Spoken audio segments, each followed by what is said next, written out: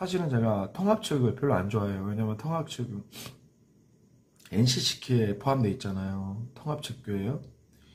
그리고 저번에 통합 측의 유명한 장신대 교수 출신들 그 다음에 한 천명이서 뭘 했냐면 차별금지 찬성하라 동성애 찬성하라 이게 미친 교단이 통합측 교단이에요. 그 다음에 통합측에서 가장 큰 교회들, 그 다음에 깨어, 소위 깨어있는 사람들, 장신대 교수 출신들 천명의 성명서를 발표했어요. 그러니까 나도 통합측을 안 좋아한다고요. 그런데 유일하게 통합 측에서 6년 전에 WC를 반대했던 목사님이 박영호 목사님이에요. 저는 박영호 목사님은 1년 전부터 알고 있었어요. 왜냐하면 영상에 구국기도회 하죠. 구국기도회. 작년만 해도 1000명씩 그렇게 모였잖아요. 오늘 영상 박영호 목사님 영상 보면서 아 내가 눈물이 다 그래서 인터뷰 중간에 박영호 목사님 그러시더라고 내가 요번에 회개를 많이 했다고 그래서 내가 그 영상을 보면서 박영호 목사님이 회개할 게 뭐가 있습니까? 내가 참 동영상 보면서 마음이 너무 아프더라고. 왜냐면은 한국교회가 왜 이렇게 등신 같은지 모르겠어요. 지금 다 비정상이야.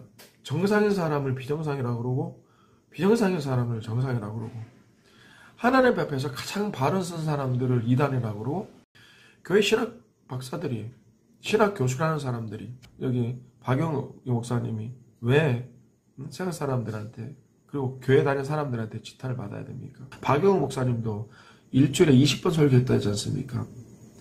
그 다음에 20년을 철학기도 했지 않습니까? 그럼 박영우 목사님께서 왜 세상 사람들한테 지탄을 받고 이게 잊힌 거죠. 정상적이 아니다는 얘기가 한국 교회가. 박영 목사님 그러시더라고요. 회개했다고. 박영 목사님 제가 뭔지 아십니까? 박영 목사님 저는 국가 민족을 위해서 기도를 한 죄예요. 그저밖에 없어요. 난 알지. 1년 전부터 그 뭐야 광주 안대교회 그 구국기도회가 유명하잖아요. 그러시잖아요. 이분은 영안이 열린 분이에요.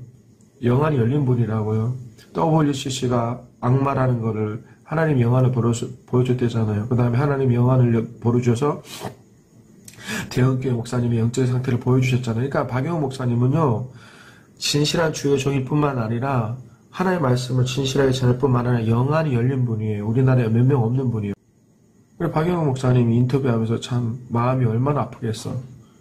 일평생 주만 바라보고 살았고 그 다음에 구국기도 할 때 천명, 이천명 모이고 3일 금식하셨잖아요.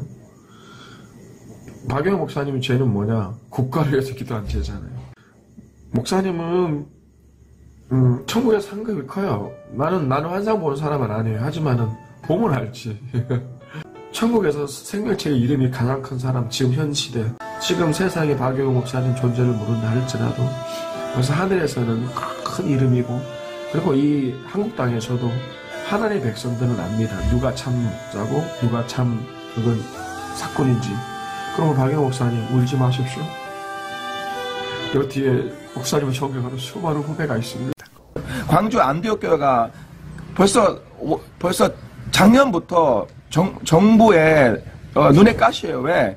대면 예배 하라고 그럴 때 광주 교회에서 유일하게 대면 예배를 지킨 교회가 바, 광주 안대역 교회예요. 박영우 목사님이에요. 여러분 박영우 목사님 조사하면 놀, 놀랍니다. 놀라. 통합 측에서 유일하게 유일하게 하나님 편에 쓴 사람이에요. 6, 7년 전에 WCG, 지금 평신도들 다 알잖아요. WCG 그 종교 다 연합이는 거 알잖아요. 부산에서 총회 있을 때 통합측 목사 중에서 유일하게 반대한 사람이 박영우 목사님이에요. 그럼 귀가 있으면 귀가 있으면 보고 눈 있으면 들어야 봐야 되잖아요. 통합측 목사 중에서 제일 깨어있는 목사님이 박영우 목사님이에요. 동, 종교 통합 반대하다가 반대하다가 교단에서 1년 정직을 먹었어요. 그러면 누가 바른 목사예요? 박영우 목사님 바른 거 통합이 마귀 새끼들이지. 누가 주기철 목사님의 후손이야? 통합 측에는 안디옥교회 박영호 목사님이 주기철 목사님의 후손이에요. 육체적으로는 주성준 목사가 어? 후, 후손 같지만 천국에서 주기철 목사님이 가슴을 찢고 통곡할 겁니다. 제가 드리고 싶은 말은 박영호 목사님 영적 거인이에요. 통합에서 제일 훌륭하신 분이고 훌륭하신 분이고 하나님 쓰시는 분이에요. 금방 우리 고병찬 목사님이죠. 온정 창조교회 고병찬 목사님께서 또 귀한 영상 올리셨네요. 지금 많이 힘든 광주 안디옥교회 박영우 목사님 인터뷰 영상을 올리셨네요. 여러분 우리 한국교회 성도들은 박영우 목사님의 인터뷰 영상을 다 보셔야 됩니다.